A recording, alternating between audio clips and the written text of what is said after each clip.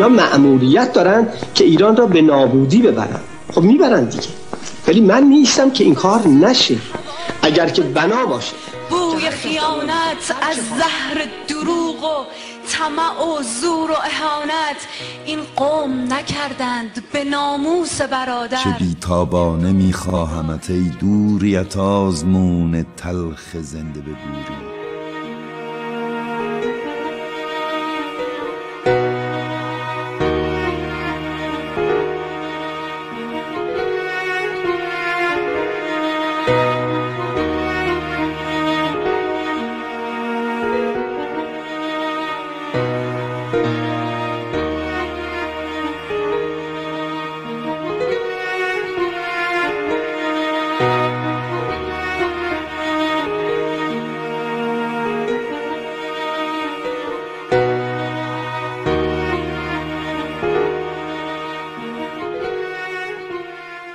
شکفته بال از سفر به روی شب رسیدی.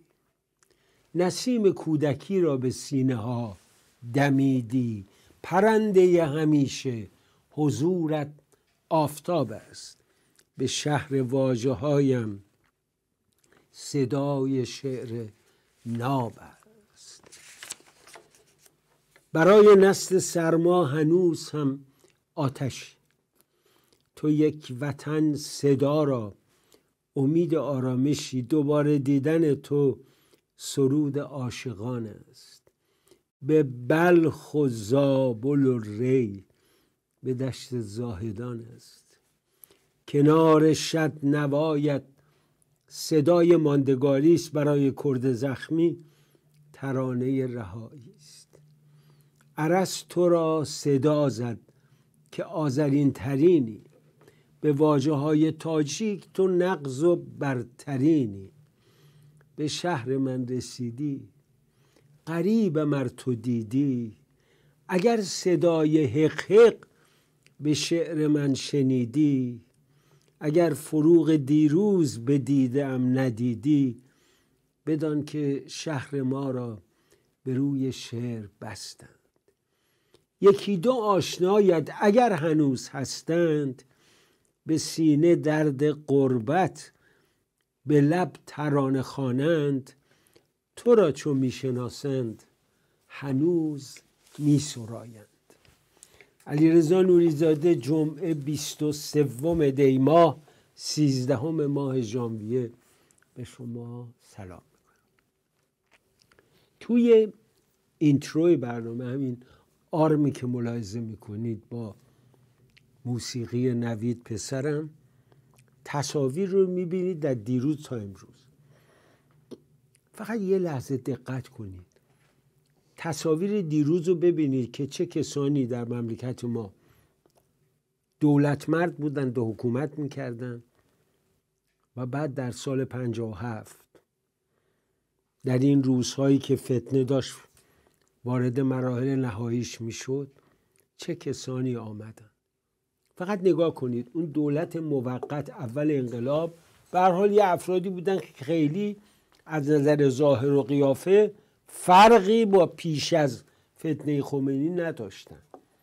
ولی به مرور شیش ماه که گذشت زانوهای قلمبه شده پیراهنهای یقه باز کراوات ممنوع شد. موهای آشفته چشمای قی کرده. وزرایی که متظاهر و دروغگو بودن تو خارج که بودن کراوات می‌زدن. ایران که اومدن حمال شدن. واقعا این تصاویر رو بذارید جلوتون نگاه کنید. این امامه به سرا رو ببینید.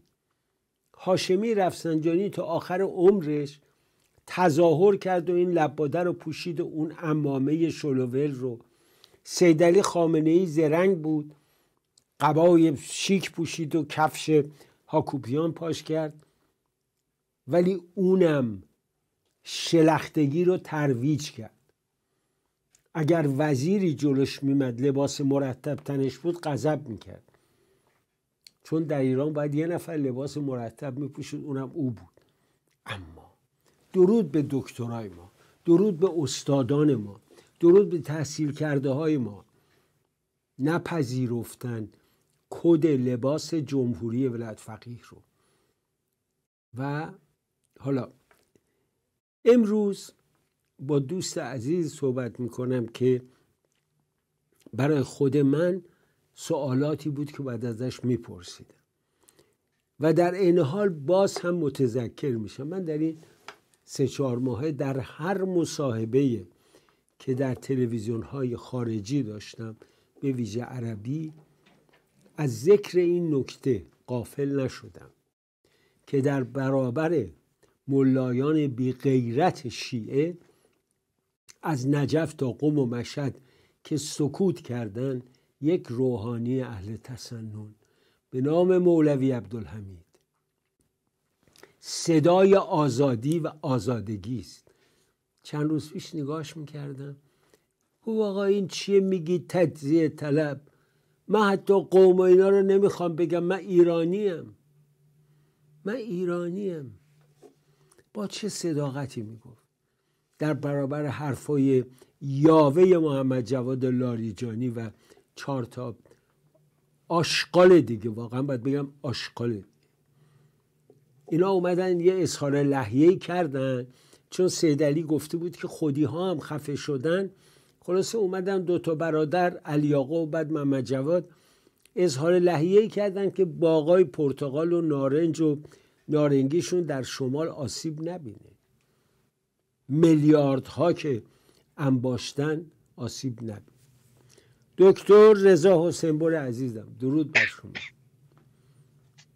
سلام و درود بر شما آقای دکتر خیلی خوشحالم که مجددا در خدمتتون هستم. سلام و درود میفرستم به مردمان شریف و دلاور ایران که در این روزهای سخت و سرنوشت ساز با این سرما در میدان هستند. لابد امروز هم مثل هر جمعه در بلوچستان مولوی عبدالحمید خطبه می‌خونه و مردم میان تو خیابون و مرگ بر دیکتاتور و خامنه ای رو فریاد می‌زنن. بله الان زاهدان یک بال می‌کنند. و این استراتژی واقعا خودشون نشون داده که قابل سرکوب نیست قابل خاموش شدن نیست و جمهوری اسلامی هم مرتب اشتباهاتی می‌کنه که باعث میشه که این حرکت قویتر و مداومتر بشه. بنابراین خوشبختانه مولوی عبدالحمید هم همونطور که شما اشاره کردید یک شجاعتی رو از خودش نشون داد که هیچ کسی دیگر در این شرایط از خودش نشون نداده و انتظار می‌رفت که آخوندهای دیگر ایرانی به قول شما این آخوندهای بیغیرت حداقل از اربابشون حمایت بکنند. ولی عملا دیدیم که نه از اربابشون خامنه ای حمایت می‌کنند و نه از ملت. و همچنان منتظرند که ببینند جریان چی میشه. ولی مولوی عبدالحمید چند چیز رو حل کرد آقای دکتر. من و شما که از دانشجوی یکدیگر می‌شناسیم. چگونه اینها بسیاری از همین رادیوها تلویزیون ها سیاست مداران دیگر من مدت ها در حضور شما در غیبت شما متهم می‌کردند به تجزیه طلبی. و همه رو یعنی کردها ترکها عربها لورها هفتاد درصد جمعیت ایران رو متهم می‌کردند به تجزیه طلبی. این مولوی چگونه حرکت کرد که این توته بزرگ اون هم از خامنه ای بود. الان می‌دونیم دیگه که این توته بزرگ از طرف شخص خامنه ای بود برای اینکه خودش گفته بود که با دیگران کاری نداشته باشید ولی تجزیه طلبان رو بزنید. بعدا تجزیه طلبان رو هم بلوچا و مخصوصا کردها تعریف کرد. اینها همه برباد رفت و مرد آبرو کنه تمام این سالها کارش این بود که ما رو بی آبرو بکنه کردها رو ترکها رو عربها رو همه روشنفکران تحصیل کردگان و فعالان حقوق بشر رو می‌خواستند به نحوی بدنام بکنند خوشبختانه هیچ کدام بدنام نشد تا اینکه سید علی الان تنهای تنها شده. دکتر سنبور شما در اون جلساتی که همون مجموعه اقوام ایرانی داشتن با یا به هیچ مخالفتی برخوردین در مورد اینکه وحدت و همبستگی ملت ایران باید حفظ بشه و به خصوص در این شرایط؟ مطلقا نه آقای دکتر. ما هرگز صحبت از تجزیه ایران نکردیم صحبت از تخریب ایران نکردیم. همه ما صحبت این بوده که مردم حق داشته باشن. یک انسانی که در کشور خودش زندگی می‌کنه در هر جایی که زندگی می‌کنه بر اساس طبیعت انسانی در اونجا یه حقوقی داره. همه صحبت ما این بوده.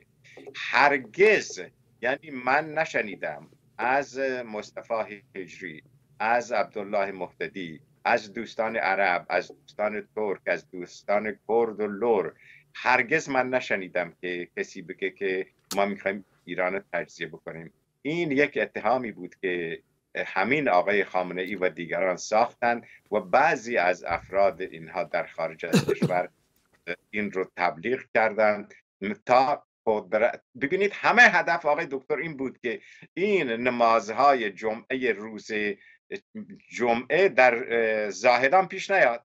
این تظاهرات در کردستان انجام نشه. مردمی که جنگجو هستند و با غیرتند و می‌خوان مملکت خودشون را نجات بدن اینها نتونند کاری بکنن. تمام هدف این بود که خب خوشبختانه این ثابت شد که چنین نیست و من مرتب با این دوستان در تماس هستم. چون این چیزی هرگز نبوده. اون چیزی رو که الان آقای دکتر ما می‌بینیم خودتون هم شاهد هستید. ببینید این انقلاب الان وارد چهارمین ماه شد این انقلاب علا رقم کارشکنی های بسیاری از این سیاستمداران به زندگی خودش ادامه داره داده و الان هم وقتی که صحبت از اتحاد می‌کنیم جالب اولین کسانی که وارد اتحاد میشن اظهار علاقه می‌کنند باز همین اقوام و ملیت های ایران هستند هر جا که یک شورای اتحادی پیش اومده ما جز اولین کسان بودیم که داوطلب شدیم که عضو بشیم. حتی عضو ساده هم بشیم. در مقام رهبری هم نبودیم. ولی بقیه چی؟ بقیه هیچ خبری نیست و یه توییتی می‌زنند یه حرفی می‌زنند. خب این روی مردم ایران تاثیر نداره. حضور درس کنم. نکته دیگری که به نظر من می‌رسه با توجه به فضایی که در خارج از ایران ترسیم شده و به هر حال داریم می‌بینیم رفتار اروپایی و آمریکایی و کانادایی تغییر کرده. اما آیا شما فکر می‌کنید به اون درجه رسیده که رژیم جمهوری ولایت فقیه بترسه؟ به اون درجه شده که در فتنه خمینی سال 57 اونجور رفتار رو با پادشاه کردن. آیا واقعا احساس می‌کنی خارجی ها در اون مسیر دارن میرن یا دارن با, ما هنوز بازی می‌کنن؟ و آیا این بازی کردن به این علت نیست که ما قادر نبودیم یک آلترنتیو و یه بدیل معرفی کنیم که حداقل بیشتر با شب بزنم بگه آقا شما چه برنامهتون چیه؟ چی کار می‌خوایم بکنیم؟ آقای دکتر هر کسی که اولا می‌دونید که دیگه خیلی ها دارن فعالیت می‌کنند و خودشون رو به عنوان آلترنتیو معرفی می‌کنند به دولت های مختلف جاهای مختلف میرند خوشبختانه امکانات سفر دارند امکانات ایجاد ملاقات دارند اینا بسیار عالیه. خب یک اطلاعاتی رو به مقامات میدن. ولی هر کجا میرند که بیایید از ما بیشتر حمایت بکنید اونها هم صحبتشون بر سر این خارجی ها که خب پس کی اون آلترناتیو که هست؟ چه کسانی باید این آلترناتیو برند و مملکت رو اداره بکنند و از هرج و مرج جلوگیری بکنند؟ خب عملا اون وجود نداره.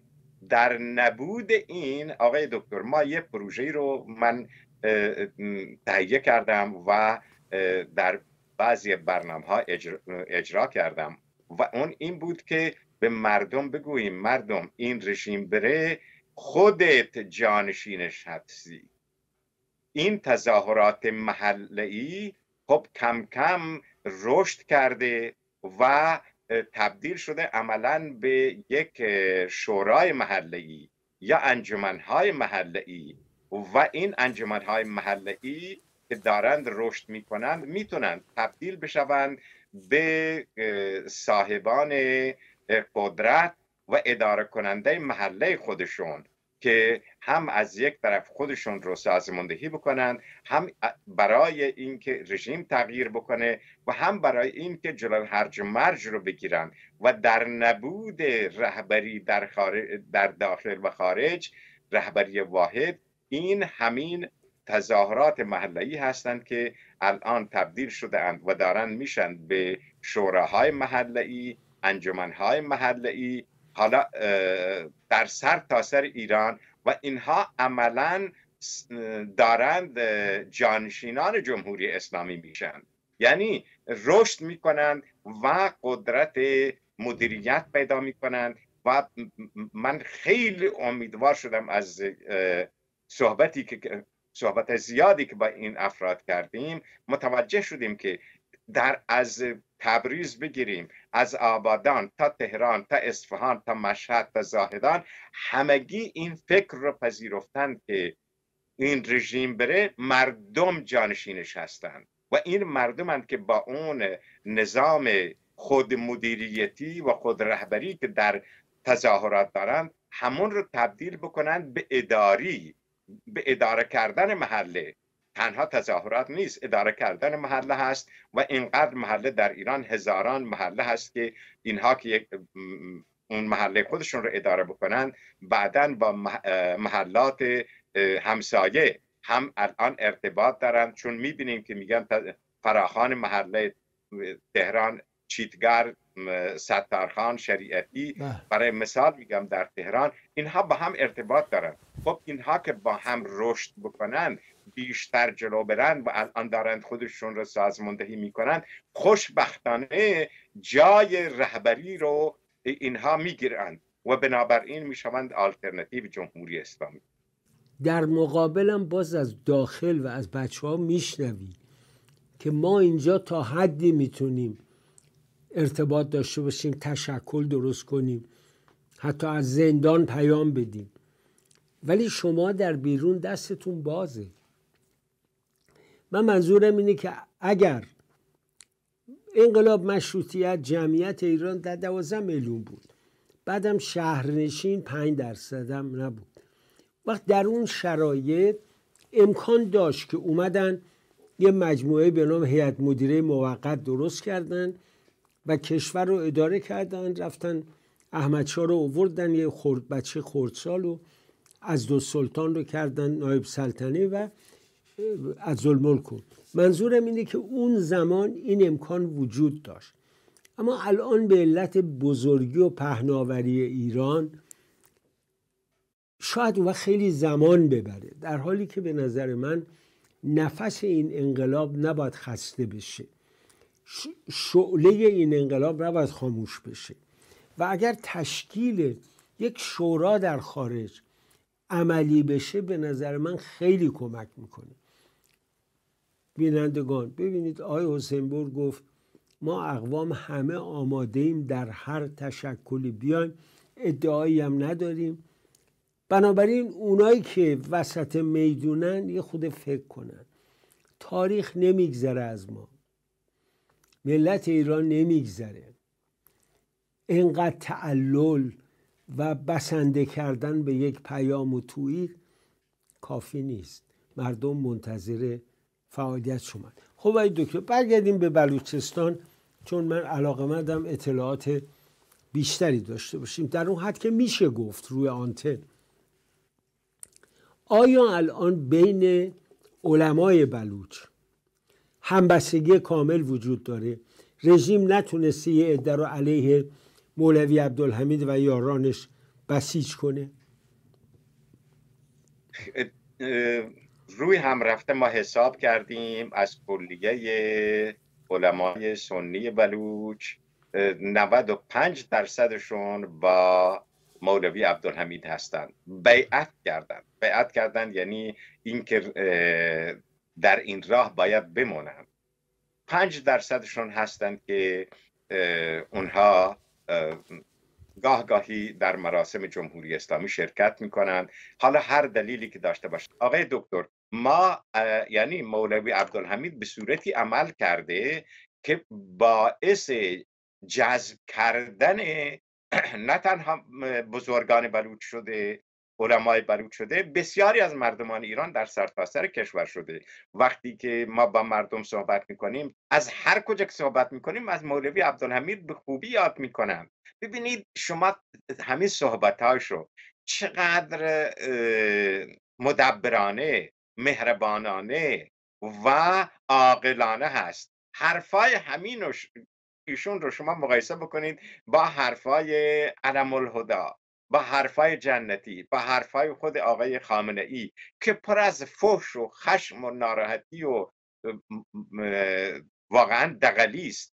این باعث شده که مولوی موقعیت خاصی پیدا بکنه. البته چند نفری هم که در بعضی جریانات شرکت کردن از طرف رژیم ما از همین تظاهرات محله و بسلا شوراهای محله ای گفتیم که ببینید شما هر کجا که زندگی می‌کنید اونجا یه مسجد وجود داره. اون مسجد یه امامی داره یه پیشوایی داره. اگر اون فرد در راه انقلاب مردم هست که خب تحسینش بکنید اگر نیست برید باش صحبت بکنید مذاکره بکنید.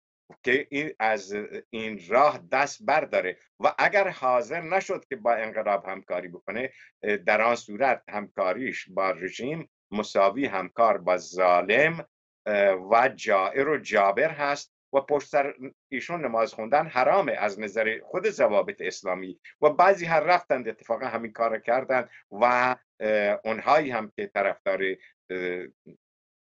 خامنه ای بودن اونها هم عقب نشینی کردند. راجع به جوانای دکتر سنبور الان جوانای بلوچ به هر حال دو سه فرمن. دانشجوها هستن که مشارکت کردن توی دانشگاه و توی مراکز علمی. جوانهای کشاورز و روستایی و غیره هستند و بعدم اون جوانان مبارزی که از مرز عبور می‌کنن. کولبرن نمی‌دونم. آره کولبر اونجا نه با موتور می‌برن و میارن. کالا این طرف اون طرف می‌کنن چایی میارن. بله. بله. یه دم اونا هستن. این جوونا الان چه نوع موضعی دارن؟ آقای دکتر این جوان ها به صورت تحسین انگیزی روحیه فداکاری و مبارزه و مقاومت پیدا کردن. یعنی هیچ کسی انتظار نداشت که مردم ایران میگم که بلوچ ها جوانای بلوچ تا این اندازه مقاومت بکنن. ولی من می‌دونستم من می‌دونستم چون بلوچم چون روحیه اونجا رو می‌شناسم فرهنگ اونجا رو می‌شناسم می‌دونستم که این مقاومت هست این مقاومت سربرون می‌کنه و متوجه اون فرهنگی میشه که بلوچ ها همیشه داشتن.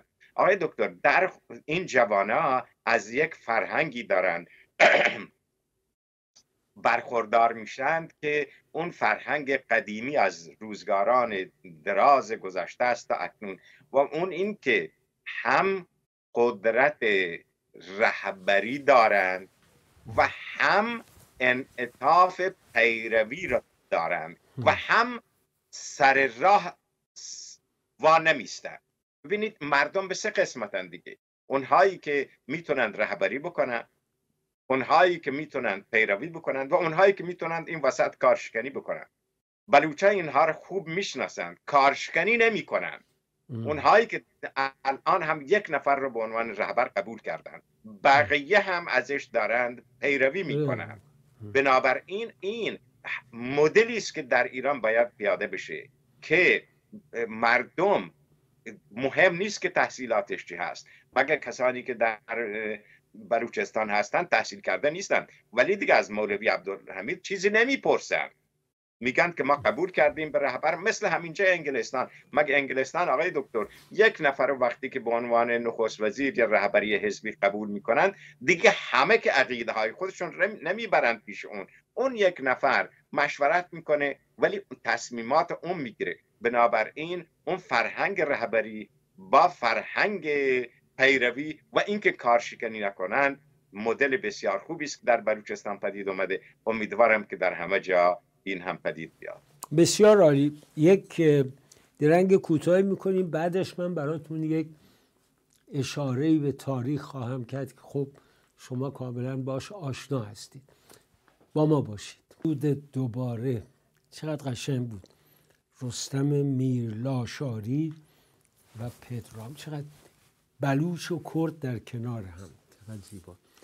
حتما دکتر حسین بر شما هم خوشت اومده از این عجب برنامه فوق العاده بود عجب برنامه محکم بود. و چقدر این دو تا ملیت بلوچ و کردو که الان هم موندن و و در کنار همن و با هم مبارزه می‌کنن و این واقعا نشان دهنده این هست که نه تنها در ایران با هم دارن کار می‌کنن در خارج از کشور هم با هم دارن کار می‌کنن و آرزوی من این هست که با هم کار کردن رو و یکدیگر رو قبول کردن این در میان ایرانی ها رایج بشه. البته آقای دکتر در میان جوانان ایرانی. دیگه اون حرفای قدیمی وجود بله. نداره.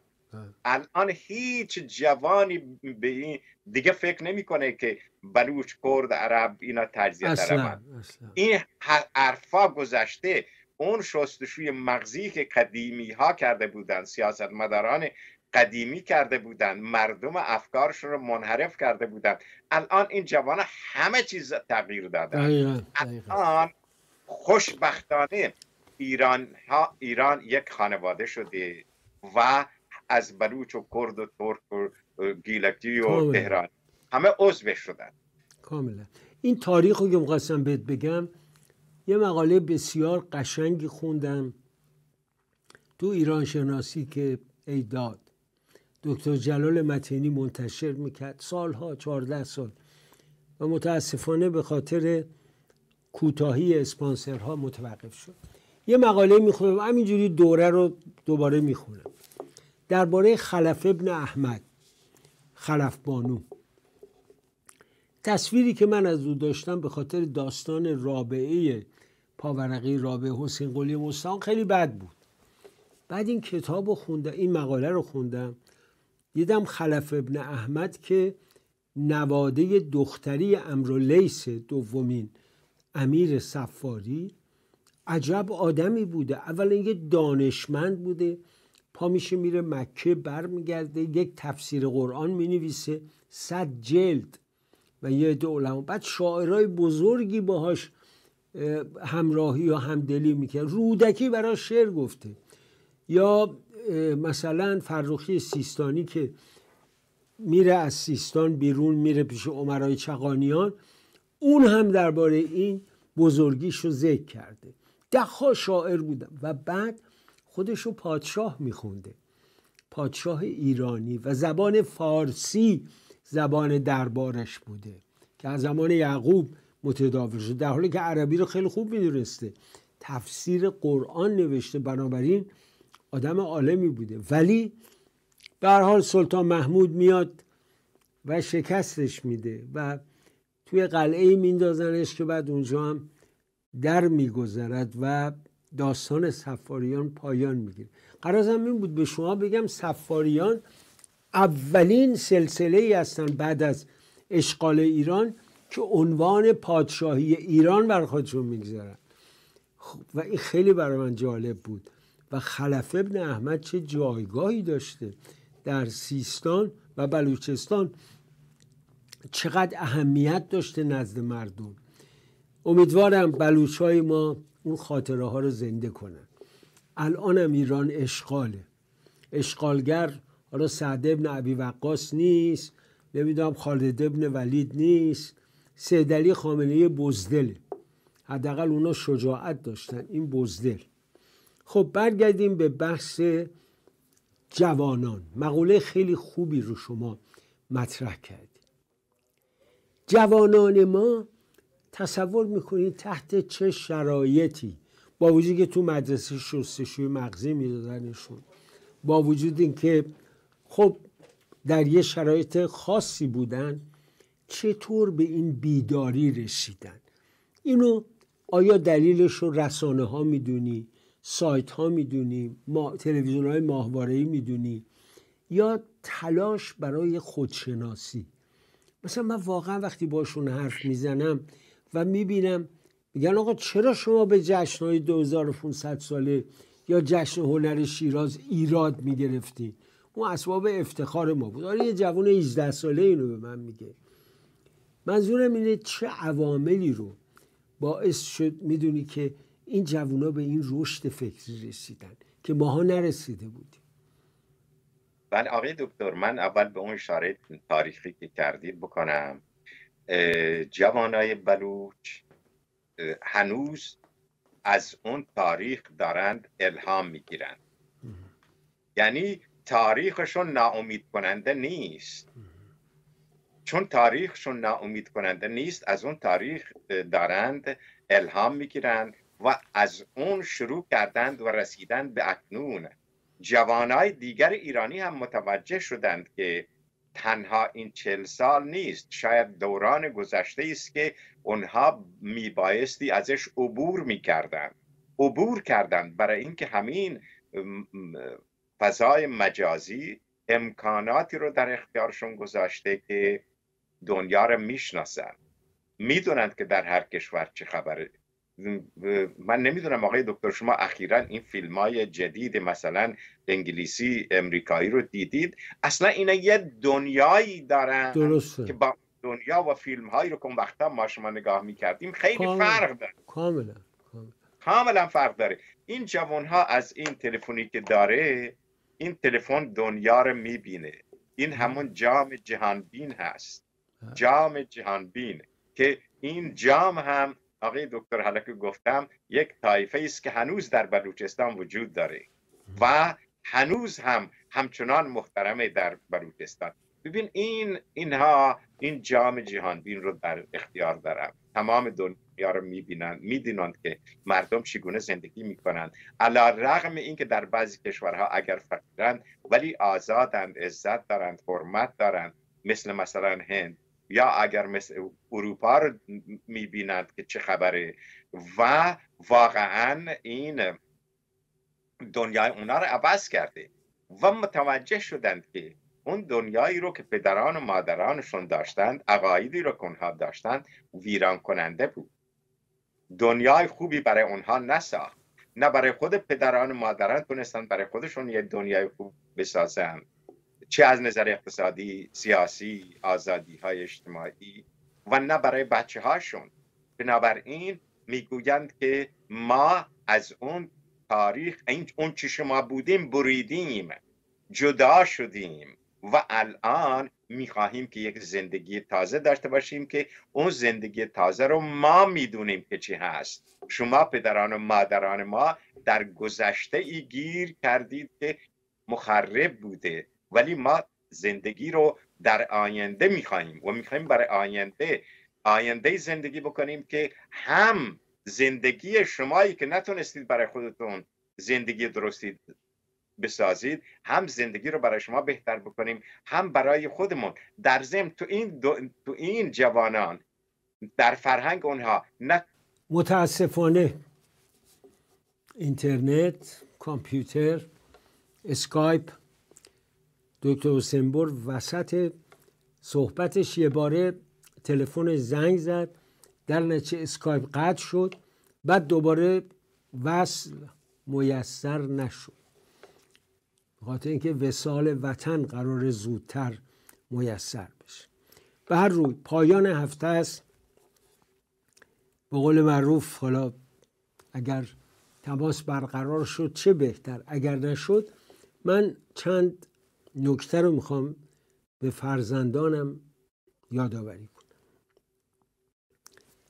در این دو سه هفته اخیر بعد از اعدام گلهای نازنین میهنم شاهد بودیم که دوباره دلها جوش دیگری گرفت. غضب امید به پیروزی بعد دوباره شاهد یک مرحله کم صدایی شدیم. البته شما تاکتیکتون رو خوب بلدید. خیلی بهتر از من. من نباید بهتون درس بدم اما یادتون باشه هر شبی که شهرهای ما کمتر فریاد مرگ بر دیکتاتور در اون بلنده اون شب سیدلی خیال می‌کنه که سیاست شمشیر و گلوله و کشتن و زندان پیروز شده. بوزینه هاش هم میرن دورش میشینن و میگن قربان دیدید؟ دیدید رادان آوردید همه چی درست شد. پوزه رادان رو باید به خاک بکشونید. اینا نکاتی دقت کنید بهش. سیدلی خامنه ای ترسوترین رهبر جهانه. من فکر میگم جو بایدن بدم سیدلی از اونم زد بالاتر. بسیار ترسوه. از سایه خودش وحشت داره. در دفتر خودش وحشت داره. شبا که می‌خواد بخوابه یه تیم از پاسداران مقام ولایت باید دوروبرش باشن نادر رو کی کش؟ دو تا از سردارانش. انگلیس قصد هند داشت. نادر هند رو تسخیر کرده بود. و خودش تاج بر سر محمد گورکانی گذاشت. دخترش هم به زنی گرفت. انگلیس ها ترسیدن. انگلیس ها حتی اجازه ندادن رضاشاه از کشتی که او رو به تبعید می برد در هند پیاده بشه و به طبیب مراجعه کنه. همیشه از ایران وحشت داشتن. ایرانی که اگر یه رهبر درست حسابی داشت عظمت پیدا می‌کرد. نادر اومد آقا محمد خان اومد رضاشاه کبیر اومد. اینا برای بیگانه خیلی چیز مطلوبی نبود. الان بهتون میگم. یک ذره کوتاهی در این جنبش یک شرمندگی بزرگ تاریخی رو پیش چشم میاره. البته بخش عمده این شرمندگی با اپوزیسیونه با شما نیست فرزندان من. شما نهایت فداکاری رو کردید. زنان ایران دختران ایران نهایت فداکاری رو کردن. نشون دادن که از چه تیره ای هستن. چقدر استوار و با شکوه هستن.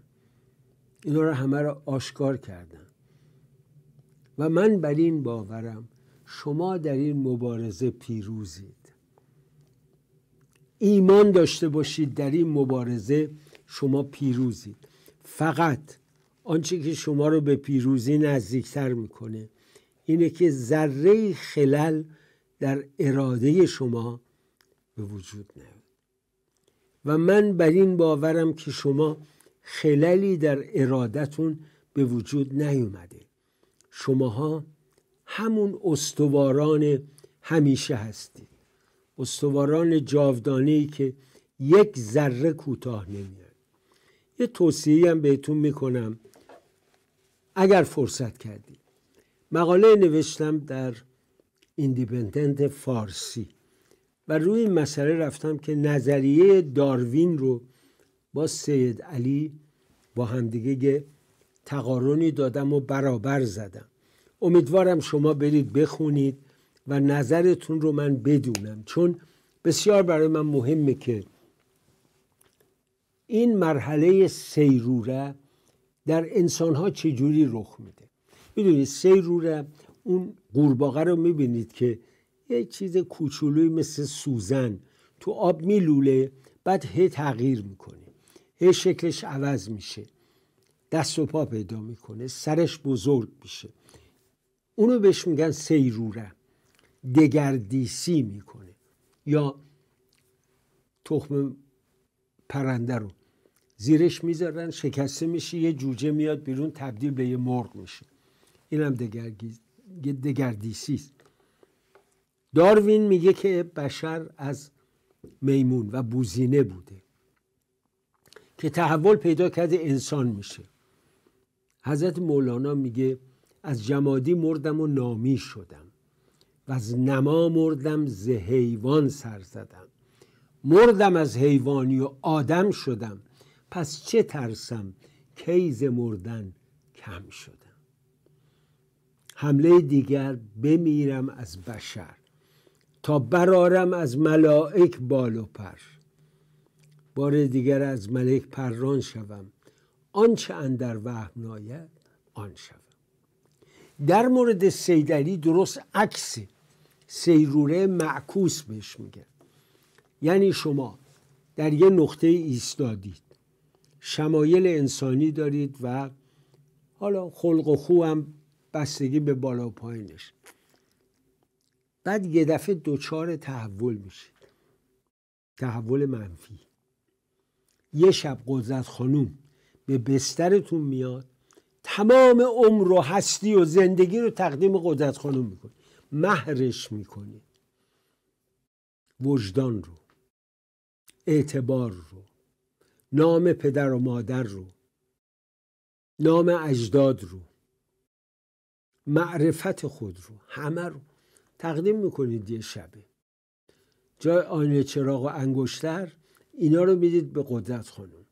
قدرت خانم هم از شما بوزینه می‌سازه. که به ارادش هر کاری بخواد می‌کنه با شما. دلاشو می‌خوام سوارت بشم. برو چهار تا کله برام بیار. برو دو تا دست و پا بیار. اون خانوما رو برو کور کن با تو فیساچ می. قدرت خانم میگه شب وسال دیگر ازت 500 تا کشته می‌خوام. سرای بالای دار می‌خوام. و تو چون خود رو باختی چون وجودت رو تسلیم کردی این کارو می‌کنی. یه وقتی از سیدلی خامنه ای توی خونه چل متری تو پای خیابون میشینه دو تا اتاق دارن یه زیرزمین.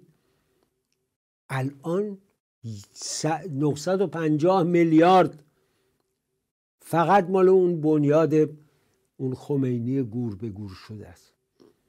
در اختیار آقاست.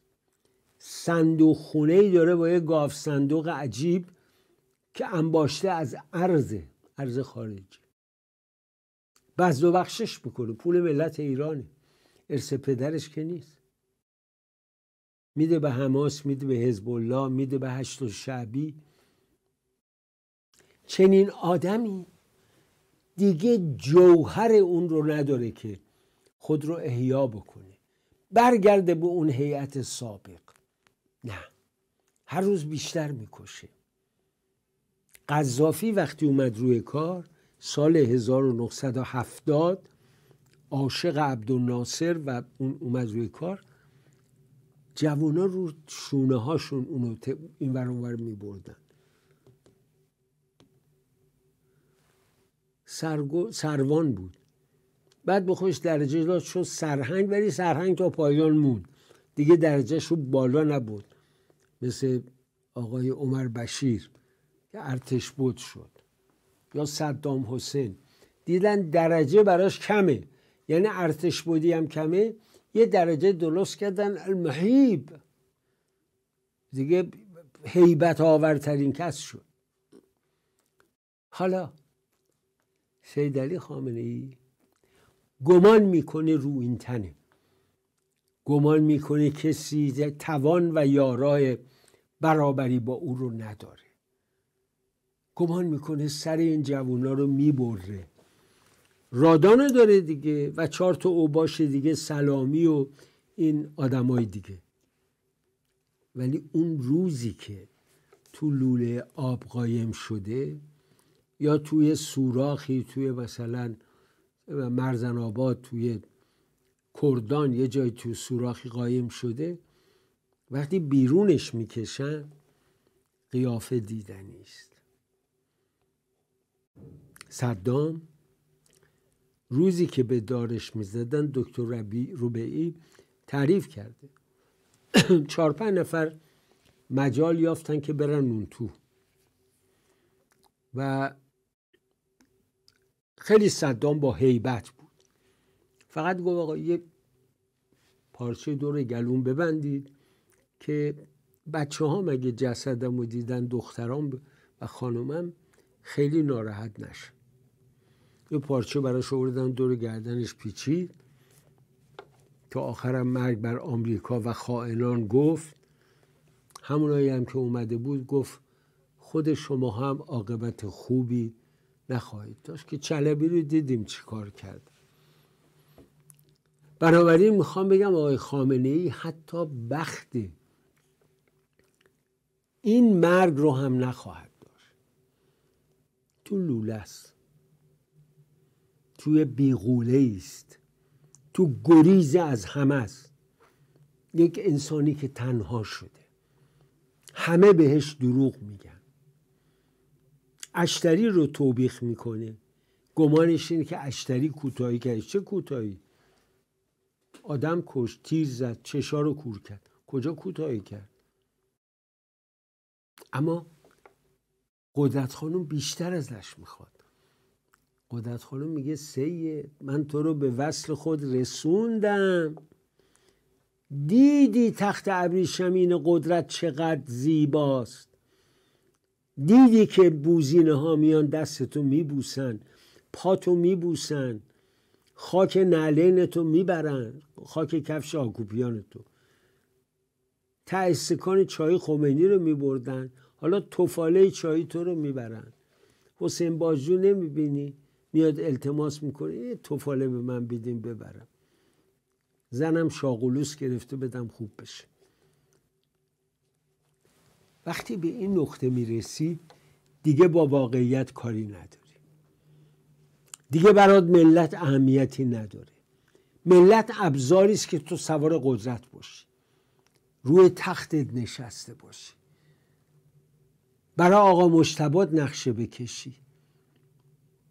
یه نفر برای من تعریف می‌کرد می‌گفت این آقا مصطفی پسر بزرگه خامنه ای حالا خیلی درویش و فقیره. چندین هفته یا شاید ماه به خونه پدرش نرفته چون در قوم یکی از دوستان نزدیکش رو کشتن. الله اعلم. نمی‌دونم. ولی به هر حال ما شاهد خیلی چیزا بودیم. ما شاهد خیلی رویدادها بودیم. خیلی تحولات رو دیدیم. بالا پایین. محمد رضا شاه در اوج قدرت و آن روز که اشک میریخت و وطن محبوبش رو ترک می‌کرد.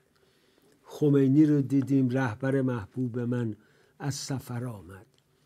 و جنازش رو دیدیم که از درون تابوت بر زمین افتاد و عورتش بیرون شد. بعد تو جبه آهنی گذاشتنش و لنینوار قایمش کردن. اگه می‌تونستن مومیاییش هم می‌کردن. رضا شاه رو دیدیم. که دشمن مجبورش کرد خاک وطن رو ترک کنه. و دشمن اومد مسلط شد بر کشور ولی پیکرش پیدا شد با همه لباسش قدرتش و اعتبارش.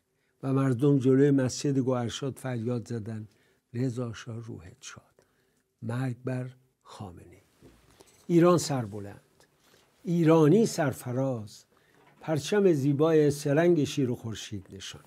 هماره برافراشته باد. رضا نوریزاده تا برنامه دیگر در پناه پروردگار.